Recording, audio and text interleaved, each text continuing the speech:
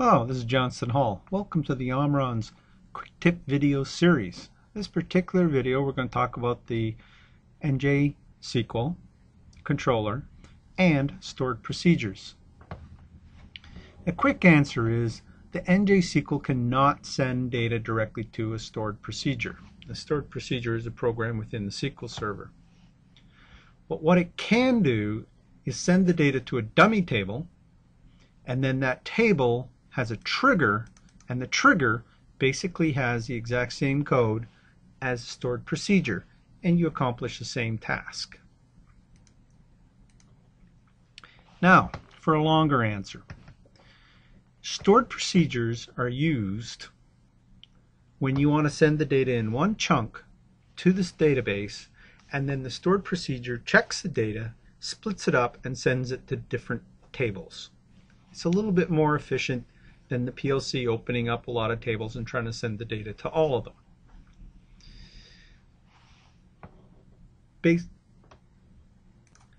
So in our two-step process, instead we're going to take all the data and send it to a dummy table that we make up. And then what we're going to do is the trigger within it can either call the stored procedure or since it's actually the same thing, you could put all the code right in the trigger. And here's what's going on. We give the trigger a name. We tell it on what database it's executing. So in this particular case, we're saying if anything happens to table 2, we wish to run this program. My first constraint is I said only if it's an insert or update command, not a delete or a search, am I going to do anything. And I have a second constraint.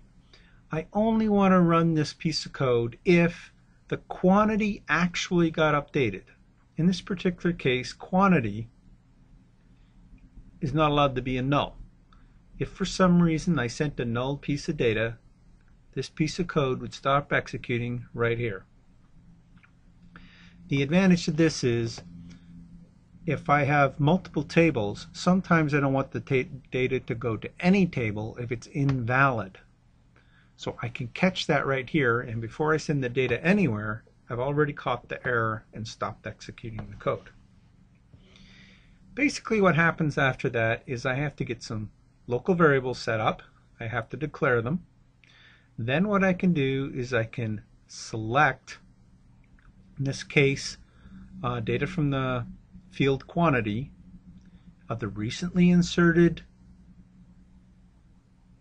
data into this table 2, shove it in my temporary register, and in my case I multiplied it by 10 just to make sure it was working. And then I can insert it into table 3, that variable. Now, table 3 only has one variable, therefore I didn't have to specify what field the data was going to. But you can quickly see that I can go from um, one variable to many tables. I can put each field in a different table. I can put in checks on my data. And this is basically what you were trying to accomplish with the stored procedure. Thank you for listening. Hope that helps and good luck.